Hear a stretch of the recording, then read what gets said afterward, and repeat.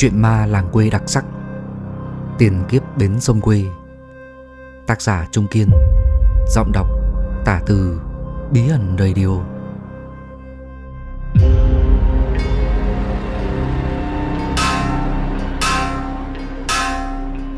Âm thanh chói tai của chiếc cảnh bằng vỏ bom Đánh lên giữa trưa hè oi ả, Làm cái thu tỉnh dậy. Vậy là đã 11 giờ 30 Năm tiết học dài đằng đẵng trôi qua.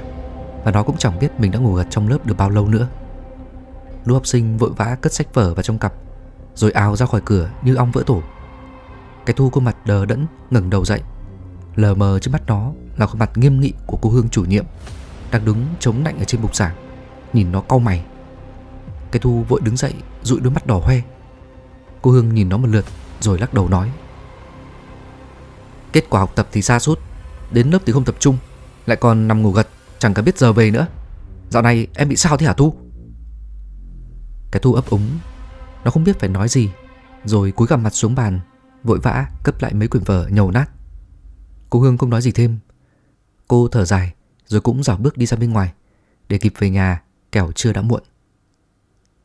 Cái Thu đứng một mình trong lớp, Bên tai nó là những tiếng cười nói lao sao của đám bạn Ở dưới sân. Xen lẫn vào là cả những tiếng ong ong ù ù kỳ lạ. Của giấc ngủ mộng mị vẫn còn dai dẳng.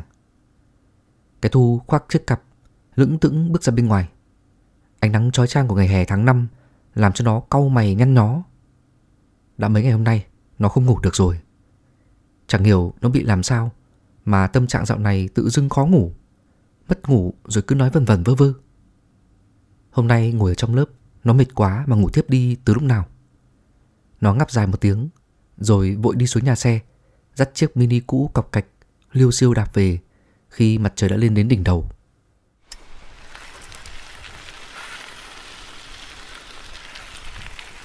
Con đường từ trường trở về nhà nó, Hôm nay sao mà xa như thế? Nó vừa đạp xe, Vừa chỉ muốn nhanh nhanh chóng chóng Để trở về nằm bẹp lên chiếc giường ngủ quen thuộc của mình. Cái thu đạp xe đến hết đoạn quốc lộ, Rồi rẽ thẳng hướng về phía ngôi làng nhỏ. Tiếng bánh xe đạp loạt soạt lăn qua những đống rơm rạ mà người ta giải ra phơi đầy ở khắp mọi nơi Trên con đường đất gồ ghề, Làm cho đôi chân của nó càng cảm thấy nặng nề hơn. Cái thu về đến nhà. Lúc này ông Tuấn bố nó Đang ngồi uống nước chè ở bên hiên. Còn mẹ nó thì lụi cụi nấu cơm trong bếp. Nó chống xe Rồi chỉ nói được một câu. Bố à? Thế rồi nó đi thẳng vào trong gian buồng Của ngôi nhà ngói ba gian Mà vứt cặp đến huỵch một cái. Chẳng hề còn lấy một chút sức lực nào. Nó cảm thấy trong người nôn nao khó chịu. Đôi mắt nó hoa lên Rồi cứ như vậy mà chìm vào trong giấc ngủ Chỉ vài giây sau đó. Thu, dậy ăn cơm con. Tiếng của bà Hoa mẹ cái Thu gọi với vào trong buồng từ bên ngoài gian chính. Cái Thu mở mắt ra. Nó vã mồ hôi, lấm tấm Rồi ngồi bật dậy trên mặt lộ rõ vẻ hoang mang. Nó mệt mỏi bước ra bên ngoài. Thì thấy bố mẹ đang ngồi đợi sẵn rồi. Mẹ nó đang sới từ trong cái xoong 20 Ra ba bát cơm nóng hổi, Bốc khói nghi ngút. Còn bố nó thì nhấp chén rượu, Đưa tay vân vê vỏ mấy hạt lạc. Con bé gắp một miếng cá rô đồng rán giòn, Chấm vào bát tương. Mùi tương thơm nồng hạt nếp Sộc vào cánh mũi, Cùng với làn khói trắng của bát cơm nóng hổi, Như đánh thức đầu óc của nó được phần nào.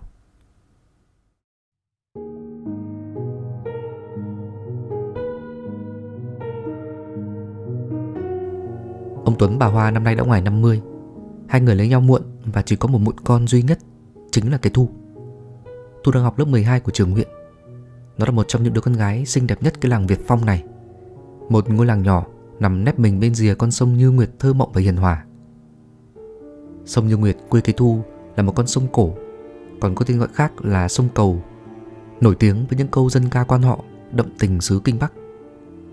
Xứ Kinh Bắc tuổi xưa Nay là hai tỉnh Bắc Giang, Bắc Ninh hiện tại Làng Việt Phong của nhà Cái Thu là một trong số ít những làng quan họ còn sót lại ở bên bờ sông phía mạn Bắc Giang sau khi hai tỉnh tách ra khỏi tỉnh Hà Bắc cũ những năm 1996. Hàng năm mỗi dịp Tết đến xuân về, cứ đến mùa lễ hội là làng nó lại treo thuyền rồng dọc ngang đôi bờ con sông để mà hát giao duyên với những làng quan họ bên đầu Bắc Ninh. Bố mẹ Cái Thu là hai người nông dân chân lấm tay bùn.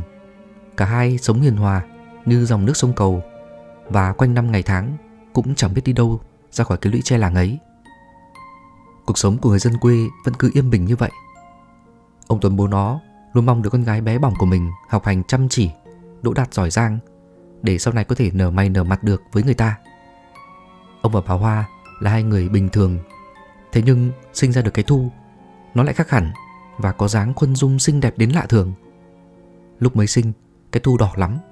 Y tá bên trạm xá sau khi đặt nó vào tay của ông Tuấn thì bảo ngay rằng con bé này có nước da trắng hồng khác hẳn bố mẹ. Lúc bé thì nó cũng lem nha lem nhem giống như những đứa bạn cùng thôn xóm. Thế nhưng càng về sau, càng lớn thì nó càng trổ mã. Đến nỗi hàng xóm láng giềng vẫn hay nói vui là nó là tiên ở đâu lạc vào gia đình của đôi vợ chồng già mà lại còn đen nhem nhẻm nữa. Ông Tuấn hay nói đùa với bà Hoa là bà đi đánh dậm ở đâu về mà lại đẻ được ra cái thu.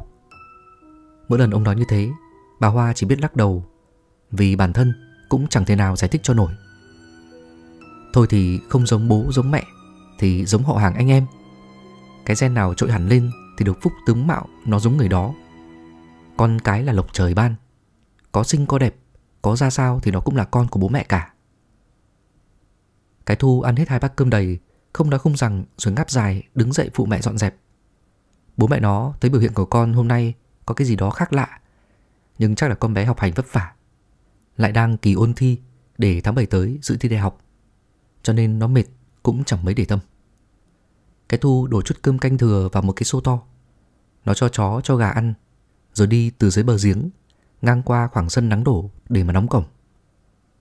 Ngôi nhà của nó có khoảng sân gạch đỏ rộng lắm. Ngôi nhà với vườn cây ao cá, mái ngói ba gian theo kiểu cũ, không phải nhà tầng, cũng thuộc hàng khá giả trong làng. Cổng nhà cái thu nằm ở ngang hông, hai lối bên ngoài cổng là hai hàng cau già và những dàn trầu không bò leo xanh tốt. Nghe bố mẹ nó kể là hàng cau này được trồng từ thời các cụ nhà nó. Nói chung là một ngôi nhà rất đẹp như chính nó vậy. Cái thu lạch cạch đóng cổng. Tiếng xích khóa va chạm vào nhau khiến nó nhăm mặt khó chịu. Khi đang đầu trần, đứng dưới trời nắng trang trang. Nó đang loay hoay, ấn khóa. Thì đôi mắt tự dưng hoa lên. Có cảm giác cay cay, dọc sống lưng, như chúng phải gió. Và tự dưng con chó mic đang nằm trong cũi, đột nhiên đứng dậy, nhìn về phía nó mà sủa lên thành tiếng.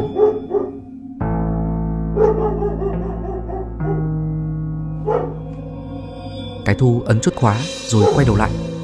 Con chó mic được nhà nó nuôi cũng chừng 5 năm. Con chó bỏ cơm những cái thu gầm gừ, rồi đưa hai chân trước lên mà cào loạt xà loạt soạt vào mấy cái chân song chuồng. Cái thu trong người cảm thấy khó chịu. Nó đưa tay lên che nắng, rồi chỉ tay vào các con chó.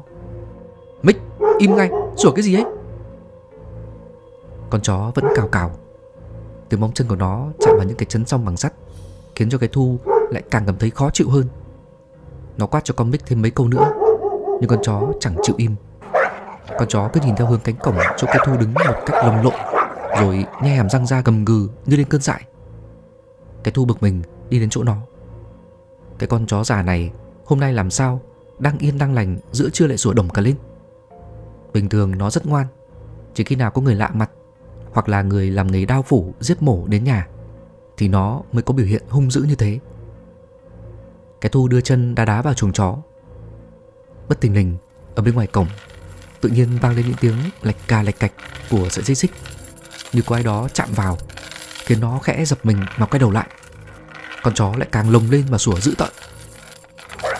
Tiếng của kim loại va chạm vào nhau, Cái thu quay quắt đầu lại, rồi nghĩ bụng, Có ai đến chơi nhà nó giờ này? Nhưng nhanh chóng nhíu mày, Vì chẳng thấy có bóng dáng ai cả. Bên ngoài cánh cổng nhà nó Có gió thổi lao sao. Từng cơn gió phía ngoài bờ sông thổi về Khiến những cọng lá khô lăn tăn dưới nước. Và cái sợi xích thì đang va chạm vào cổng, Phát ra như có tiếng của ai đó chạm vào. Cái tu thở dài một hơi khó hiểu.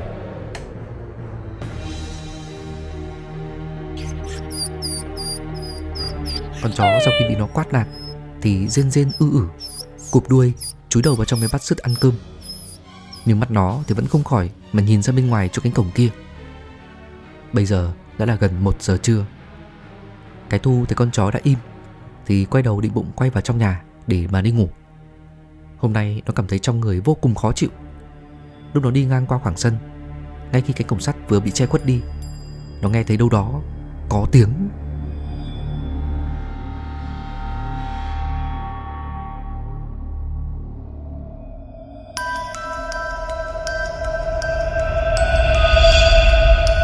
Cái thu thoáng giật mình. Là tiếng rên rỉ của một ai đó. Cái tiếng động này Nghe như những tiếng nấc thút thít kỳ lạ Rất gần. Có lẽ ở ngay bên ngoài cánh cổng, Nơi nó đứng vừa nãy. Nó cau mày dừng lại Ở ngay trước bậc thềm Và đưa tai lắng nghe. Rõ ràng lúc nãy khi nó đóng cổng, Không hề có ai ở bên ngoài đó, Mà bây giờ lại có tiếng nấc lên Một cách kỳ lạ. Con chó đang cúi đầu ăn cơm, Lại một dịp nữa sủa lồng lộn lên giận dữ. Cái tôi chép miệng bước ra chỗ cánh cổng đã được đóng kín. Nhìn ngang ngó dọc xem xảy ra cái chuyện gì. Nhưng bên ngoài vẫn chỉ là khung cảnh vắng lặng, Không một bóng người giữa buổi trưa hè. Có tiếng của bà Hoa, Mẹ nó ở trong buồng nói vọng ra. Thu, Làm cái gì mà chó sủa ghê thế?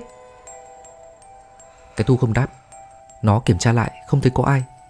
Nghĩ rằng mình đã nghe nhầm, Thì mới thở hắt, Quay đầu đi vào trong nhà, Nằm dài lên chiếc giường gỗ thơm mùi sân mới. Bên tai nó lại ù ù một cách kỳ lạ. Nó bịt vào cái gối Để át đi những tiếng con chó mích đang sủa ông ầm bên ngoài kia. Rồi đôi mắt nó cứ hoa lên, Từ từ chìm vào trong giấc ngủ mộng mị Của buổi trưa nóng nực.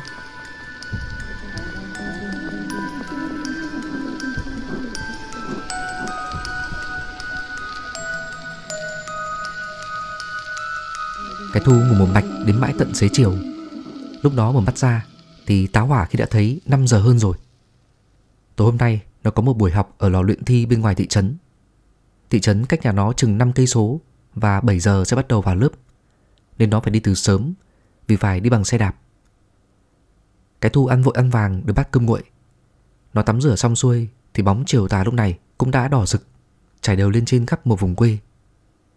Hai tiếng học trong lò trôi qua, cũng đến 9 giờ tối. Cái thu cùng với đứa bạn đạp xe về nhà từ hướng quốc lộ đến địa bàn xã rồi mỗi đứa một ngả Díu ra díu dít mà chào nhau ra về. Cái thu rất chăm học. Thế nhưng mấy đứa cùng trang lứa với nó, Nhà ở trong làng không theo học lớp ôn thi, Mà chỉ xác định học xong cấp 3 Là lấy chồng hoặc đi làm công nhân. Cho nên cả làng chỉ có mỗi mình nó Học tối trên lò luyện thi. Từ đầu đường xã đi vào làng, Nó phải đi dọc theo đường bờ sông. Nơi đây có một khu nghĩa địa rất to, Chung của cả xã, Nằm trên một ngọn đồi thoai thoải và muốn về tới làng nó. Thì phải đi qua khu nghĩa địa tối tăm này, Vì đây là con đường độc đạo.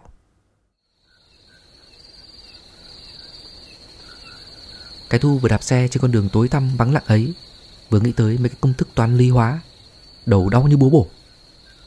Như ánh đèn le lói phía làng Việt Phong Dần dần thưa đi, Và nó đoán lúc này, Ở nhà có lẽ bố mẹ nó cũng đã sắp sửa tắt điện đi ngủ, Sau một ngày làm đồng mệt nhọc.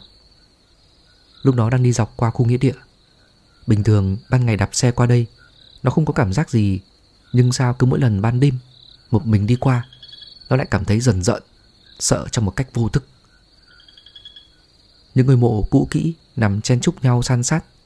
Khu đồi này gọi là đồi chọc, Bởi vì nhìn từ đằng xa, Nó cứ chọc lông lốc, Lưa thưa vài bóng cây bạch đàn, Còn đâu chỉ toàn là mộ với mộ cạnh nhau. Quang cảnh trên đây vào ban đêm kỳ lạ tối tăm, Từng cơn gió thổi khiến cho mặt nước sông gợn sóng Và cái thu ngửi thấy mùi gì đó khen khét, Như cái gì đang cháy Hay là mùi nhang khói thoảng nơi đầu mũi. Nó khẽ dùng mình một cái, Rồi không dám nhìn sang chỗ khu đồi chọc, Mà cắm đầu đạp xe đi về con đường làng. Chỉ còn một đoạn không xa lắm nữa, Thế nhưng nửa đêm nửa hôm một mình thế này, Sao mà nó cảm thấy nó lại dài như thế? Có tiếng con chim cú lợn đâu đó bất chợt kêu vang lên. Cái thu đang mải miết đạp xe, Tự dưng gai người, Và đôi chân nó bỗng cảm thấy nặng nặng. Còn cái xe thì hơi trao đảo.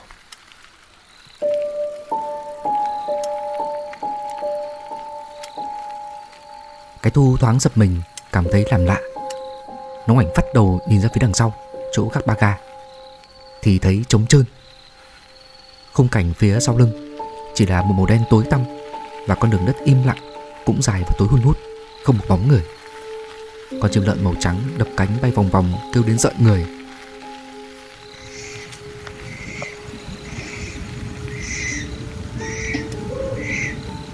Cái thu nhíu mày, quay đầu lại rồi tiếp tục đạp xe, Mà trong đầu cảm thấy khó hiểu. Chiếc xe cảm giác nặng hơn thấy rõ. Nó giống như có một người nào đó đang ngồi ở đằng sau, Và nó thì đang là người đèo đi vậy. Cái thu tiếp tục đạp. Nó đạp bờ cả hơi tai, Mà ngôi làng nhà nó vẫn còn cách xa một quãng. Một cơn gió từ phía lòng sông thổi ùa tới. Cơn gió mát làm cho cái thu trở cảm thấy dễ chịu hơn, Và chiếc xe cũng tự nhiên mà nhạy bẫng hẳn đi. Lúc này, nó đang đi ngang qua một bụi cây dại rậm rạp. Ở cách đầu xe nó vài mét Là một cây gạo rất to, Thân gốc xù xì, Đã có từ lâu năm, Cành lá thì xum xuê. Đoạn này là đoạn bến đò Thùa Yên, Từ xã Cây Thu, Nếu muốn đi sang bên đầu Bắc Ninh, Thì người dân vẫn chọn đi đò, Chứ không có đi qua cây cầu nằm ở phía tỉnh lộ, Cách làng đến vài cây số. Cái Thu khó hiểu, Rõ ràng lúc nãy cái xe còn nặng, Mà tự nhiên bây giờ lại nhẹ tinh Như không có chuyện gì xảy ra. Nó hít sâu một hơi, Cảm giác khoan khoái, Tận hưởng làn gió mát, Rồi hướng mặt về phía bờ sông, Ngắm bóng trăng lưỡi liềm, Phản chiếu xuống từng gợn sóng lăn tăn. Bất chợt, đôi chân cái thu ngừng đạp. Cái bánh xe bon bon lăn đi, Vang lên những tiếng tành tạch tành tạch Của vành nan hoa. Cái thu giật mình. Giữa bờ sông hoang vắng, Bên cạnh hai con đò nhỏ Và cái xà lan được neo đậu ở cạnh bến cầu, Có bóng hình của một người nào đó Mặc áo đen, Đang đứng lom khom lặng lẽ Mà nhìn nó, Im phăng phắc, không đèn không đuốc. Cái thu trong giây phút ngây ra như võng. Hình như đó là một người đàn ông. Ông ta đứng ở chỗ bến đò, Im lặng mà nhìn hướng lên trên đê, Cách chỗ cái thu một đoạn không xa. Cái thu nghĩ chắc mẩm, Đó là mấy người lái đò ngủ lại để trong thuyền. Nó đang không để ý tới phía đằng trước. Thì chiếc xe vô tình va phải một cục gạch, Khiến cho nó đạp tay lái, Rồi loạn trọi thế nào, Ngã đánh oách một cái, Lăn quay ở trên con đường sỏi đá gồ ghề. Cái thu đau đớn Lồm cồm dựng xe đứng dậy. Bàn tay nó chống dưới đất, đau nhói và đầu gối cũng theo cú ngã mà cắm xuống mặt đường, Vừa rác vừa tê dại cả đi. Nó vội vàng quay sang nhìn về phía chỗ bến đò Thì tròn cả mắt. Người đàn ông vừa đứng ở chỗ kia Đã biến mất đi đằng nào. Bến sông chỉ có tiếng của hai con thuyền gỗ Đang bị sóng nước đẩy va vào nhau, Lịch cà lịch kịch.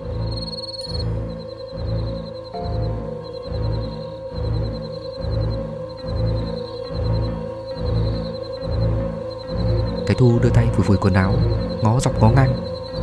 Rõ ràng chỉ vài giây trước thôi, Người kia còn đứng ở đó, Mà ngay sau cú ngã Lại chẳng hề có ai. Chẳng lẽ nó đã nhìn nhầm hay sao? Bên trong chiếc xà lan Hoàn toàn tối tăm im mắng. Có lẽ bây giờ, Người lái xà lan cũng đã đi về, Chứ ai lại lang thang ngoài bờ sông một mình Làm gì trong đêm thế này? Cái thu khẽ lắc đầu, Nghĩ rằng có lẽ mình đã nhìn lầm. Nó tập tễnh ngồi lên xe tiếp tục đạp đi về phía mấy ánh sáng đèn le lói phát ra từ chỗ ngôi làng Việt Phong mà trong lòng khó hiểu. Bỏ lại phía sau lưng là cây gạo cổ thụ đứng lặng lẽ và bến sông im lìm không có lấy một bóng người.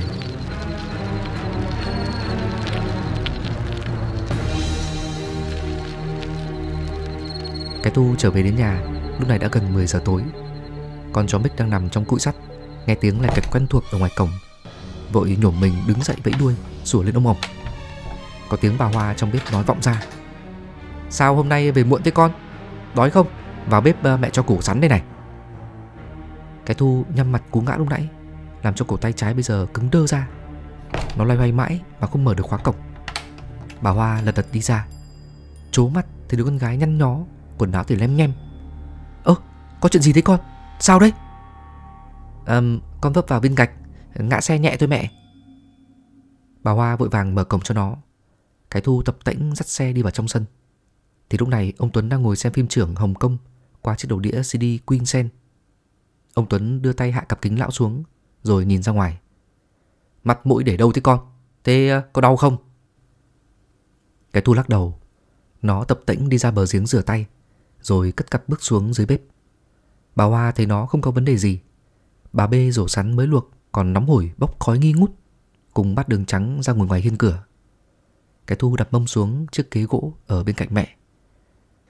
Nó nắn nắn cái cổ tay Rồi bà Hoa bóc cho nó một màu sắn bờ trắng phau. Bà hỏi nó à, Sao dạo này cứ như người mất hồn thế con? Đi đứng nó phải để ý vào Học hành áp lực quá à?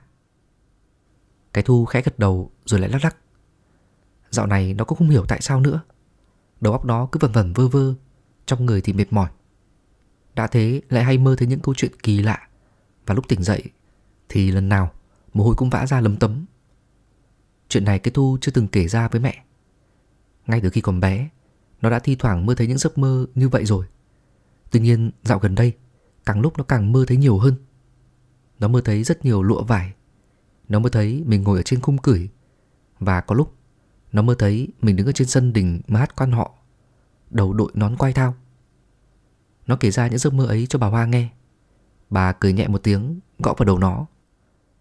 Con gái đến cái tuổi trổ hoa trổ cành Tâm sinh lý thay đổi Thì ờ, mơ mộng cũng là điều bình thường thôi. Mẹ trước đây còn mơ biết cả lái máy bay Đi bắn Mỹ nữa kìa kìa. Thôi tập trung vào học đi cô. Dạo này ờ, có yêu đương thằng nào hay chưa? Nói rồi hai mẹ con còn cười khúc khích với nhau. Cái thu nhai củ sắn thơm của mẹ đưa. Nó hít hà một hơi rồi nói um, Yêu đương cái gì à mẹ? Nói không phải tự khen chứ, Con sinh thế này cơ mà. Sau này con phải học giỏi đã. Sau lên thành phố kiếm việc làm ổn định, Kiếm một người đẹp trai, Con nhà giàu tử tế.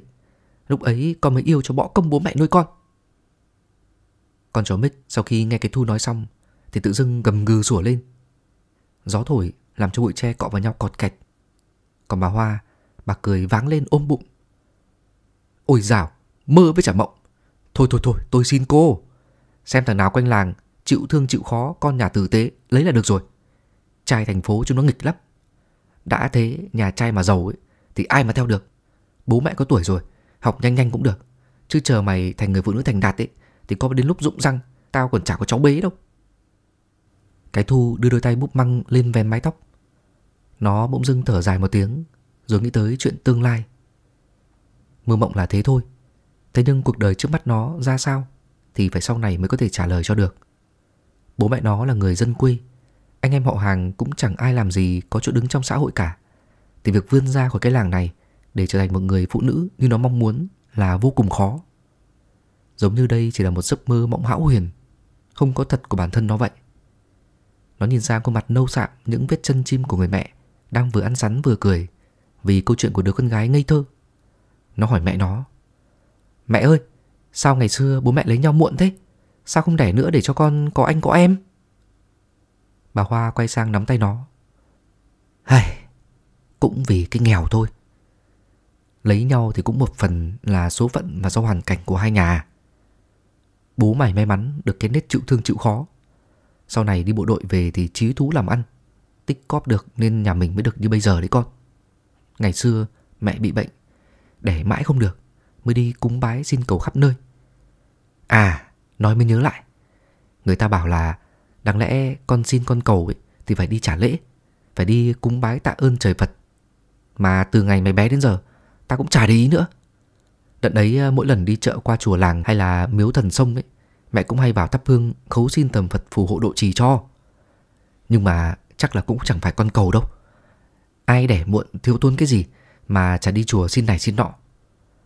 Tao là tao cũng chả tin cái chuyện cầu được con cho lắm. Có lẽ là ông trời thương, Ban cho mày về làm con bố mẹ, Ban cho cô Tiên cho nên mới xinh đẹp thế này. Đẻ làm gì lắm. Tao mệt, Một con là đủ rồi. À mà này, Mày phải nhớ giữ mình nhá. Chứ chưa đâu vào đâu mà đã chửa ĩnh bụng ra Với cái thằng rơi đất thỡi nào ấy. Tao với bố mày không mà đeo mặt mo vào mặt. Cái thu ôm bụng bật cười. Hai mẹ con nó cứ thế và ngồi ở ngoài cửa bếp, Ăn sắn nói chuyện tù tỉ với nhau.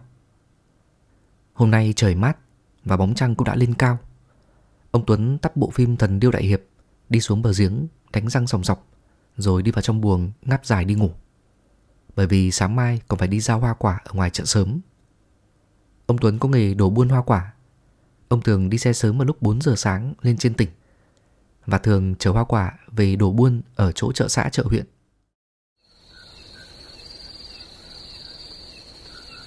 Lúc ông đi ngang qua khoảng sân Trông thấy hai mẹ con cái thu đang nói chuyện rủ gì với nhau Thì ông nói Thôi à, đi ngủ sớm đi Mai còn đi học. Sinh cái gì mà sinh? Nói đến con Bích ý, Nó còn phải đứng lên phản đối kia kìa. Mà ô hay Con Bích này Làm gì mà cứ sủa nhấm nhẳng cả lên? Im ngay Không ông cho củ riêng bây giờ. Cái thu bà Hoa đứng dậy vùi vùi tay. Bấy giờ thì hai mẹ con mới để ý Cổng chưa có đóng. Con Bích nãy giờ vẫn cứ gầm gừ nhìn ra bên ngoài cổng tối thui, Rồi sủa lên từng chập. Bà Hoa đi vào trong bếp, Cất cái rổ sắn đã vơi quá nửa. Ông Tuấn nói xong thì bước vào trong buồng mà kéo rèm. Còn cái Thu vẫn còn buồn cười câu chuyện chữa ếch bụng của mẹ, Mà vừa quắc con Bích Vừa xoa xoa cặp mông bị ngã xe, Đi ra chỗ cổng sắt, Cánh mở cánh hở. Cái Thu đưa tay ra ngoài lồng sợi dây xích. Bất ngờ con chó lồng lên, Rồi đưa tay cào xoèn xoẹt vào mấy cái chân xong như hồi sáng đã sủa về hướng phía nó. Cái Thu giật mình, Nó quay đầu lại những con Bích quát um cả lên. Nhưng chợt cảm thấy Có hơi gì đó lành lạnh phảng qua sau gáy. Con Bích hôm nay nó lạ lắm. Lúc trưa, nó đã có biểu hiện sủa càn như vậy rồi. Và bây giờ, Nó cứ vằn mắt nhe răng ra mà sủa. Hệt như nhìn thấy kẻ trộm vậy. Gai ốc ở cổ cái Thu tự dưng nổi dựng lên. Nó khó hiểu quay đầu nhìn ra bên ngoài cổng tối tăm. Thì bất ngờ giật mình đánh thóp một cái.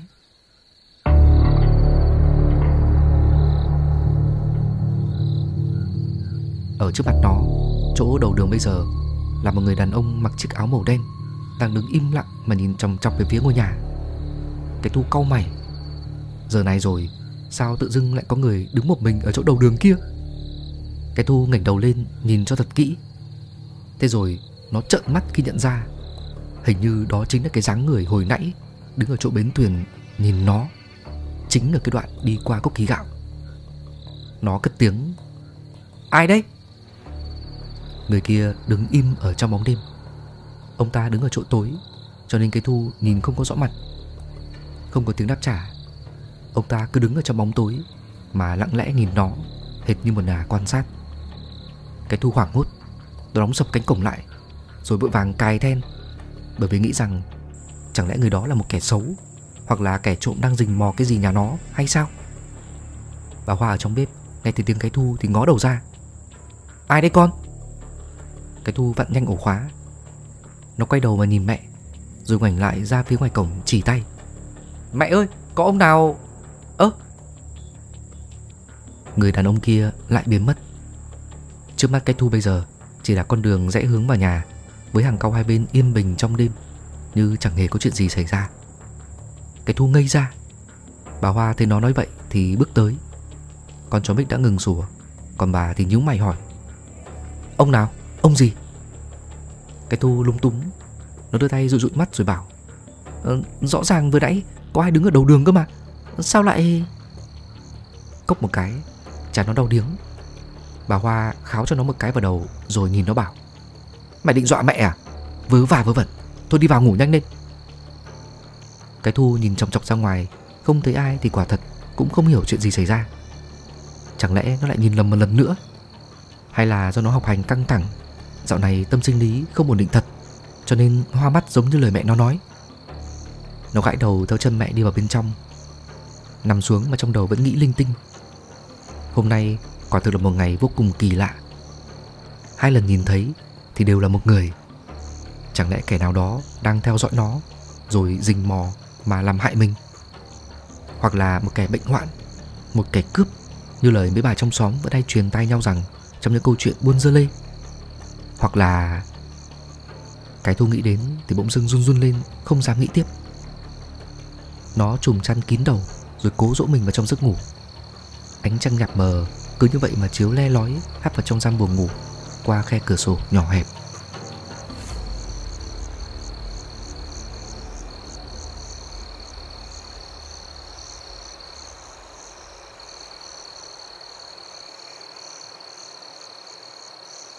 Cái thu nằm lật dọc lật ngang một hồi lâu. Gió hè hiu hiu thổi vào, Làm cho mấy cành tre lay động, Hắt bóng xuống dưới sân nhà. Độ vài tiếng sau, Lúc này ở phía giam buồng bên ông Tuấn, bà Hoa Đã nằm ngủ say rồi. Cái thu đang thiêu thiêu Thì tự dưng con chó mic rên lên ư ử. Chợt sủa nhấm nhẳng ba tiếng. Cái thu khẽ mở mắt. Trước mắt nó là giam buồng ngủ tối tăm, Và bên tai là tiếng gì đó Như sóng vỗ vào bờ, Nghe cứ y à y hoạt cái thu nhổm người ngồi dậy. Nó lơ đãng xỏ dép đật đật mở cánh cửa buồng ra, Thông ra hiên nhà. Nó bước ra thì thấy trăng đã lên cao. Cơn gió hè và mùi lúa đang thì con gái, phảng vào trong đầu trong mũi. Xen lẫn vào đó là cả cái mùi phù sa của con sông cầu, Cũng theo gió ùa về, Làm cho đầu óc của nó nhạy tênh, khác lạ. Thu vô thức bước xuống dưới sân nhà. Con chó Mick đã nằm im tin thít Và cánh cổng khóa từ lúc tối. Không biết đã mở toang ra từ lúc nào.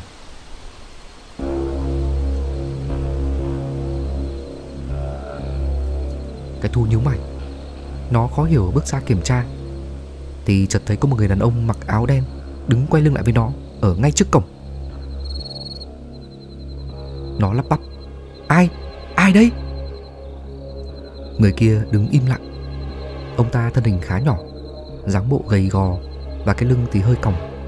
Ông ta đứng đó vài giây Bắt đầu bước đi.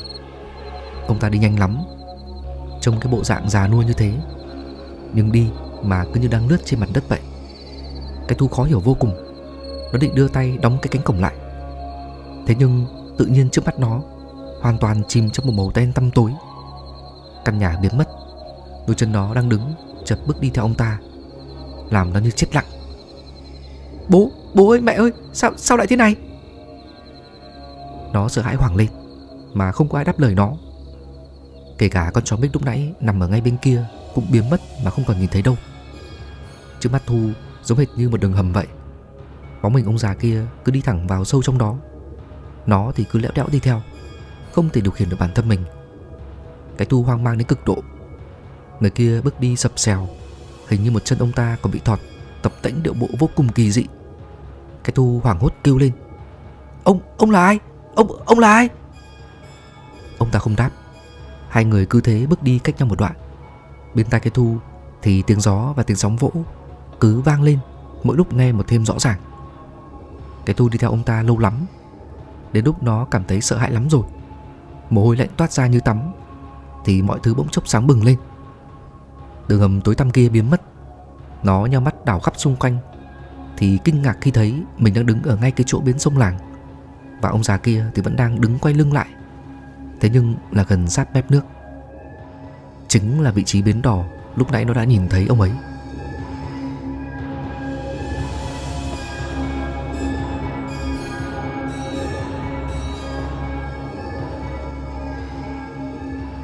Cái thu đang đứng ở cạnh cốc cạo già, Cách ông ta một đoạn trong khung cảnh hoàng hôn rực đỏ, Là bến sông cầu làng nó Thế nhưng bây giờ Khung cảnh có gì đó khác lạ Và mọi thứ cảm chừng như là hoang sơ hơn. Những ngôi nhà tầng phía đường ngoài quốc lộ, Mỗi lần đạp xe đi qua, Nó vẫn nhìn thấy lấp ló, Đã không còn ở đó nữa. Nó kinh ngạc quay nhìn về phía làng Việt Phong của mình, Thì càng ngây người hơn, Bởi vì ngôi làng bị che phủ xanh gì, Chỉ thấy có vài mái lá đơn sơ tạm bỡ Nó mấp máy môi. Chuyện gì đang xảy ra thế này? Đây là Ông già kia. Cái thu hét toáng lên. Tiếng hét của nó vang vang rồi vọng về nơi bờ sông hoang vắng. Ông già mặc áo đen vẫn đứng im ở đó. Bây giờ nhìn kỹ, Cái thu mới thấy Ông ta mặc một bộ áo the đen. Thứ áo này là thứ áo người xưa hay mặc? Hoặc là những người liền anh? Họ hát con họ Và hay mặc nó mỗi khi biểu diễn. Mà Thu thường thấy Mỗi lần đi hội Tết đến Xuân Sang, Cái Thu vô cùng hoang mang. Nó run rẩy quay đầu. Vùng chạy về phía làng của mình. Thì bên tai chợt nghe thấy có tiếng. Vỗ tay, vỗ tay. Hát hay quá, hay quá.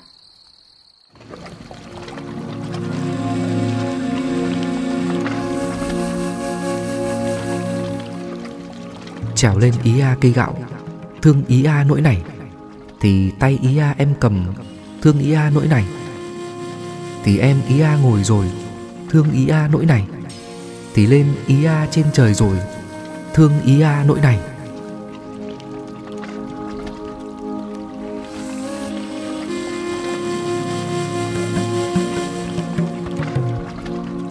Có tiếng hát con họ và tiếng của rất nhiều người ý ới vỗ tay vang lên sau lưng. Cái thu ngoảnh vắt đầu nhìn lại. Trong khoảnh khắc đó Nó ngây ra. Ở đôi bên bờ sông Không biết từ đâu xuất hiện rất nhiều người. Những người dân lớn có, bé có Già trẻ cũng có.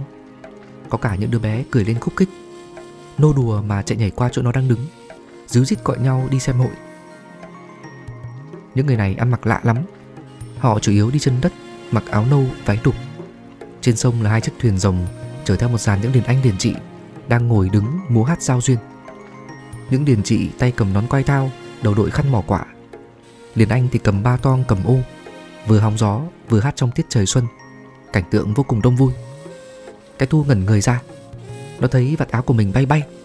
Vội nhìn xuống thì trợn mắt khi không thấy bộ đồ ngủ của mình đâu. Mà thay vào đó là một bộ đồ mớ ba, mớ bảy.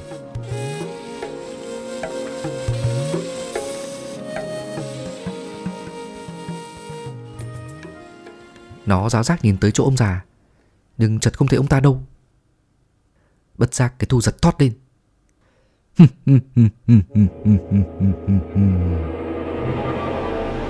Có tiếng cười kỳ dị rất cần gất lên.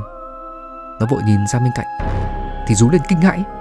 Khi thấy ông già kia đã đứng ngay sát mặt mình Không biết từ lúc nào rồi.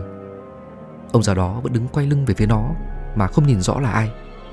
Nó run rẩy bước giật lùi về phía ngôi làng của mình Rồi lắc lắc cái đầu. Không, chuyện gì thế này? Chuyện gì đang xảy ra thế này? Đây là Ông già kia đang đứng im thì cười khăng khắc.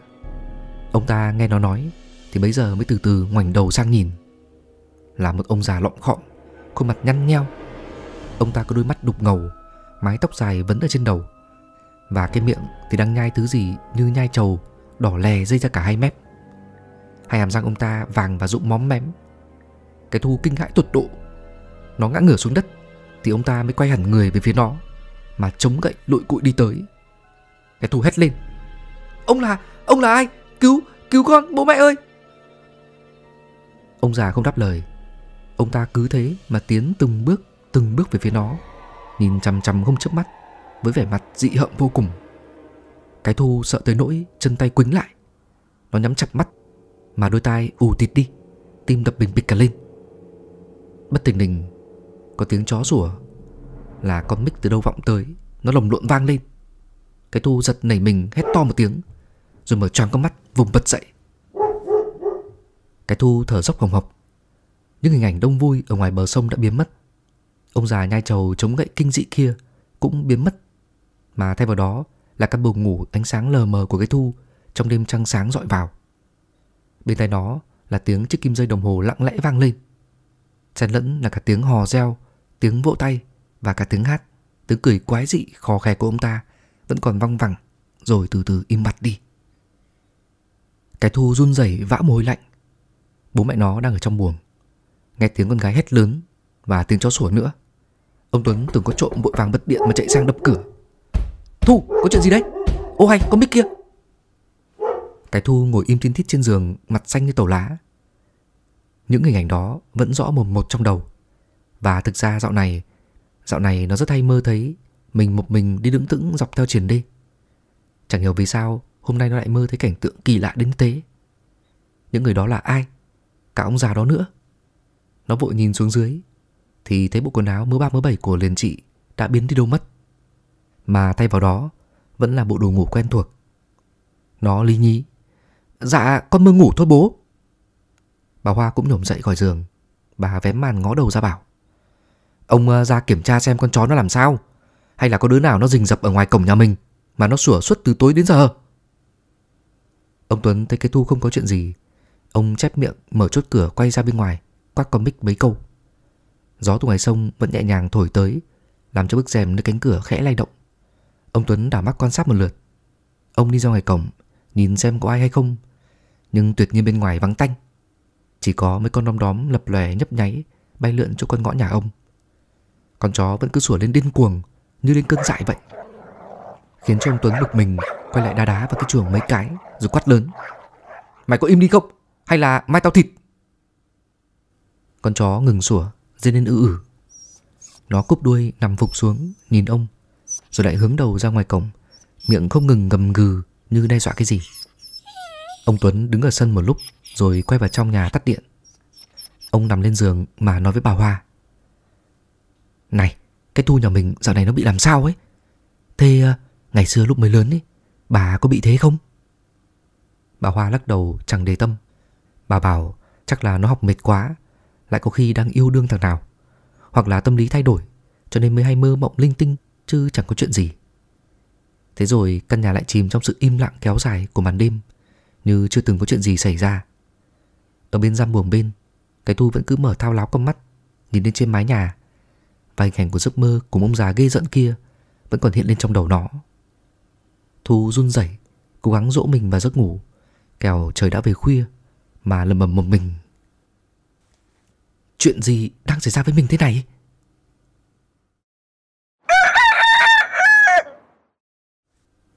Sáng ngày hôm sau, suốt cả đêm cái Thu cứ nằm chằn chọc. Có mùi khói củi thoảng qua và tiếng lẹt quẹt của bà Hoa rang cơm dưới bếp làm bụng cái Thu réo lên cồn cào. Cái Thu mở cửa bước ra ngoài sân hít một hơi thật sâu. Nó ăn cơm rang trứng của mẹ thì cho chiếc cặp vào giỏ xe, lạch cạch, đạp xe thẳng hướng đường làng đi học. Đã có tiếng y ới của mấy đứa bạn đợi sẵn bên ngoài con đường đất.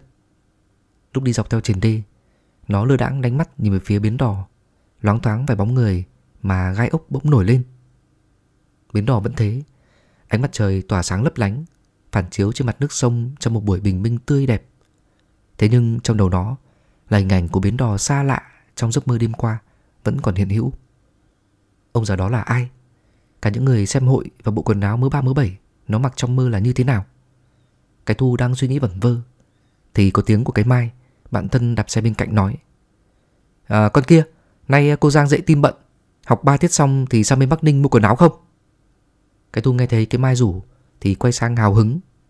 Bọn con gái mà, nghe thấy quần áo gương lược là tiếp mắt ngay. Người dân xã nó vẫn thường đi đò sang bên Bắc Ninh để mua sắm. Bên đấy có khu chợ to chuyên đổ buôn, có nhiều đồ đẹp hơn, lại rẻ hơn bên thị trấn huyện của nó. Cho nên người dân vẫn thường đi đò sang bên đấy để mà mua sắm. Cái Thu nghĩ ngợi vài giây rồi gật đầu lia lịa. Có chút tiền quà bánh bố mẹ cho. Nó tiết kiệm để ở trong cặp bấy lâu nay được vài trăm nghìn. Nghe chừng cũng hòm hòm, cho nên hứng chí nhận lời đi cùng con bạn. Định bụng mua sắm linh tinh xong thì sẽ tạp vào quán để mà ăn chè ăn cháo. Mấy đứa khác nghe thấy cái mai rủ thì cũng thích thú nói với sang. Đi sang bên kia á? Hai đứa mày định đi mảnh à? Tao cũng đi. Ừ, tao cũng đi. Cả mấy đứa con gái nô nhau cười vang.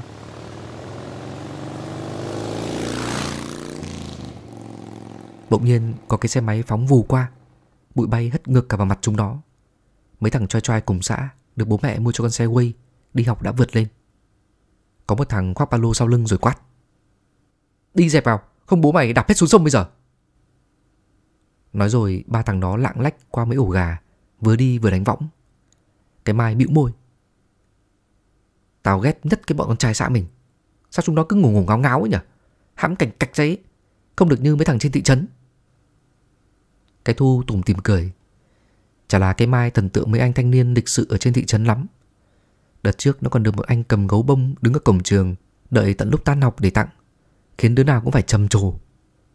Cái thu thì chẳng thích trai làng, Cũng chẳng mê trai phố huyện. Gu của nó là một người con trai thành phố, Giống như đã nói với bà Hoa hôm qua. Cho nên mấy cái cậu trai trai này, Nó chẳng bao giờ thèm để tâm. Mấy đứa vừa nói chuyện, vừa đạp xe thêm một đoạn nữa. Qua cái đoạn nghĩa trang đổi chọc, thì cũng ra đến đường quốc lộ. Ba tiết học nhanh chóng trôi qua. Cả lũ vội vàng tôi dọn sách vở rồi kéo nhau về đoạn bến đò làng để mà đi sang bên Bắc Ninh, định bụng đi chợ chơi cho sớm. Chúng nó phi xuống dưới đê rồi gửi luôn mấy cái xe đạp ở lán bà tính bán nước chỗ bến thuyền. Hôm nay thì xà lam bị hỏng đầu máy, người ta đang sửa chữa, cho nên cả lũ thành phải đi con thuyền gỗ cũ kỹ được neo đậu ở chỗ bến sông. Mọi khi đi bằng xà lan thì cho được cả xe đạp lên để mang sang đầu sông bên kia cho thuận tiện. Tuy nhiên thì hôm nay đi thuyền và lại khu chợ đó cách bến đò không xa lắm. Cho nên mấy đứa cũng tặc lưỡi để xe bên này, rồi đi bộ tí cho khỏe người. Hoặc là 10.000 xe ôm là xong. Năm đứa con gái nhanh chóng trèo lên con đò tròng trành Đi cùng với chúng nó là hai bà trong làng, Cũng sang bên kia sông. Cho nên mọi người nói chuyện với nhau rôm rả lắm. Cái Thu đã từng đi qua con sông này không biết bao nhiêu lần rồi. Thế nhưng từ bé đến giờ, đây mới là lần thứ ba nó đi thuyền gỗ. Bởi vì chỉ khi xà lan bị hỏng, Thì người ta mới đem ra sử dụng. Chứ bình thường cũng chả ai đi. Ông lái đò trèo uể oải Trèo một mạch đến giữa sông. Ông cứ lái được một đoạn, Lại cầm cái gáo múc nước ở dưới chỗ khoang hắt ra, Khiến cho cái mai trông thấy Phải nuốt nước bọt đánh ực một cái. Con thuyền gỗ này đã cũ lắm rồi. Nước chẳng biết thấm qua chỗ nào, Nhưng ông lái đò cứ tát cạn được vài phút Thì nước sông lại thấm vào xâm sấp chỗ mấy đầu ngón chân. Ông lái đò thấy cái vẻ mặt đứa nào đứa đấy hoang mang. Ông ta vừa trèo vừa cười hề hề mà chấn an chúng nó. Ây da, không phải lo đâu. Thuyền này nó xịn lắm. Nước có tấm vào một nửa thì cũng chả có chìm được đâu. Hai bà đi chợ, cũng bảo yên tâm đi. Thuyền gỗ nào chẳng vậy, Không có vấn đề gì. Cái Thu ngồi ở sát mạng. Nó ngắm nhìn con sông, Có vài con thuyền chở cát sỏi, Nổ máy giòn giã đi qua. Rồi lơ đãng, thả bàn tay xuống trong làn nước mát rượi, Trôi lướt đi qua bên cạnh mình. Nước sông cầu có màu xanh đục. Làn nước mát khiến cho cây thu cảm thấy dễ chịu vô cùng. Rồi nó cũng ngồi thả tay xuống Mà vu vơ câu hát.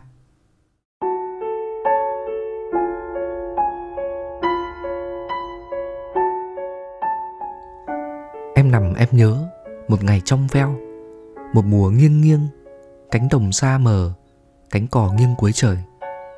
Em về nơi ấy, Một bờ vai xanh, Một dòng tóc xanh. Đó là chân trời Hay là mưa cuối trời?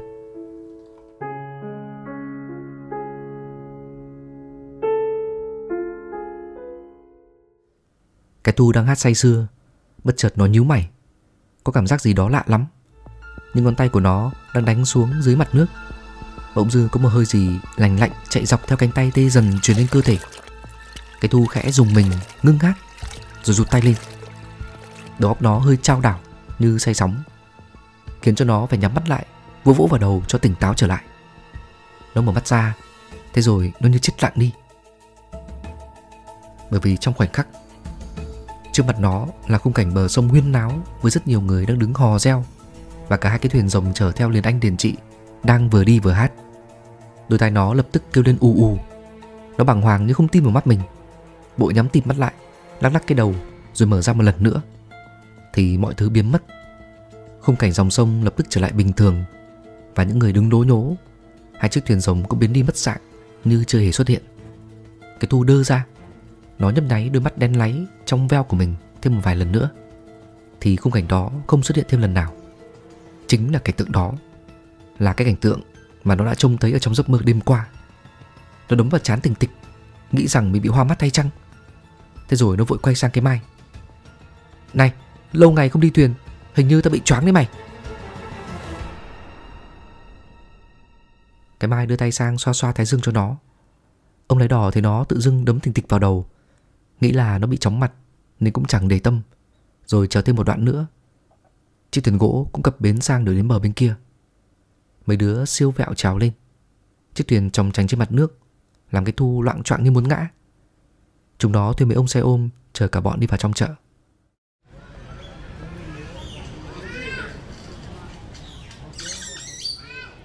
Lúc tới nơi thì cảnh người mua kẻ bán đi lại tấp nập. Những tiếng nói chuyện lao sao những tiếng dao băm bánh ép dẻo ép plastic qua loa inh ngỏi Làm cả lũ cảm thấy vô cùng thích thú. Cái thu mua lấy túi nước mía để uống cho tỉnh táo. Có lẽ nó bị say nắng Cho nên vừa mới tưởng tượng ra như vậy thôi. Mấy đứa con gái thì kéo nhau ra chỗ bán quần áo nữ Treo lủng la lủng lẳng. Bọn con Mai, con Linh, con Phương, con Tú Xà vào cái trọng tre của bà béo Lật tung cả đống quần chip, áo con lên Rồi còn chạy sang hàng bên cạnh để xem Khiến cho bà ta trừng mắt rồi gắt um cả lên.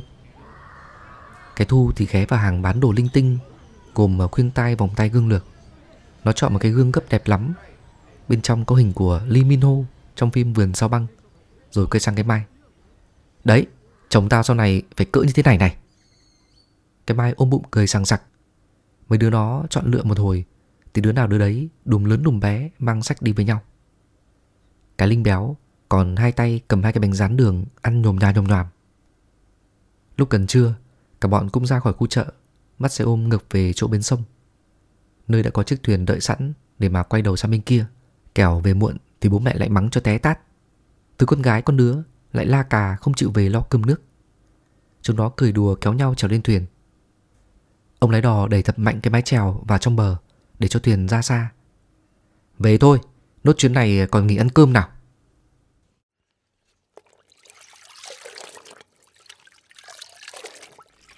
Chiếc thuyền nhẹ nhàng lướt đi trên mặt nước, Đưa cả lũ rời khỏi bờ. Cái thu sau một hồi đi chơi lanh quanh ở chợ, Thì lúc này, đầu óc cũng cảm thấy tạm thời khá hơn. Mấy đứa bạn nó lấy trong túi bóng ra một hộp phấn son, Chúng nó vừa ngồi vừa đánh đánh tô tô cho nhau. Cái Mai cũng quay sang chỗ nó, Cầm cái mút chấm chấm ít phấn vào má. Cái Thu nhíu mày né tránh. Điên à? Tự dưng lại đánh phấn làm gì? Về mẹ tao chửi cho đấy. Sợ cái gì? Đánh thử xem có đẹp hay không. Cái Mai vừa bôi bôi chết chết vừa cười hi hí Gương mặt đầy mồ hôi của cái Thu bị nó đánh phấn cho lem nha lem nhem. Nhưng cái thu cũng kệ cho nó đánh. Bởi vì thực ra cảm thấy cũng hay hay. Mà tính nó thì lại thích làm điệu. Chúng nó không để ý và người khác có mặt trên thuyền đang nhìn mình. Có cả hai cậu thanh niên lạ mặt. Chắc là người ở bên kia sông đi đâu sang phía làng chúng nó, đang ngồi cạnh ông lái đò, nhìn trộm mấy đứa học sinh tinh nghịch trang điểm. Thì ôm miệng cười tùm tìm với nhau. Cái mai tô phấn tô son cho nó xong thì giơ ngón tay cái lên. Mấy đứa bạn quay sang nó, tròn mắt mà nhìn. Hoa hậu thôn, công chúa nhà ông bà Tuấn Hoa đây rồi. Cái tu bật cười lên thành tiếng nó cho tay vào túi tìm tìm cái gương có hình Lee Min Ho để xem con bạn vẽ hưu vẽ vượn gì cho mình. Nhưng lại chẳng thấy đâu. Thì ngó đầu sang bên cạnh, nhìn xuống dưới mặt sông đang lăn tăn gợn sóng. Lúc này, mặt trời đã lên gần đến đỉnh đầu. Cái mai trang điểm cho nó xong thì quay sang chỗ mấy con bạn để mà nói chuyện giết thời gian. Đưa tay lên che nắng, cái thu ngó đầu mà nhìn xuống mặt nước. Hình ảnh của nó hiện lên méo mó theo từng gợn sóng. Ánh mặt trời phản chiếu ngược lại khiến cho nó chói mắt nhưng vẫn cố mở ra để nhìn trông mình bộ dạng thế nào. Ông lái đò thì đang đảo tay chèo thuyền đi. Bất chợt một cơn gió mạnh ở đâu thổi tới khiến chiếc thuyền nhỏ tự dưng trao đảo trong trành. Rồi tất cả chỉ nghe thấy cái tu bất tình lình hét lên một tiếng thất thanh. Ôi rồi ôi!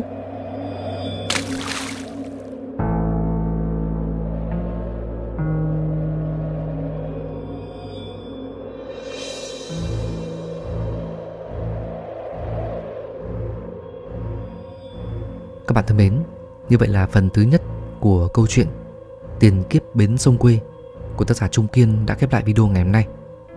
Nếu cảm thấy ý nghĩa và hữu ích, các bạn có thể ủng hộ cho tác giả Trung Kiên cũng như Bí ẩn Radio thông qua hướng dẫn trong phần mô tả. Để bàn luận sâu hơn về nội dung câu chuyện, các bạn có thể tham gia hội những người thích nghe chuyện ma cho dễ ngủ ở trên Facebook hoặc hội ngủ nghe ma ở trên diễn đàn Zalo. Đặc biệt, các bạn cũng có thể tương tác và liên lạc trực tiếp với tác giả Trung Kiên ở trên các diễn đàn đó. Một lần nữa, cảm ơn các bạn đã quan tâm theo dõi. Xin kính chào và hẹn gặp lại.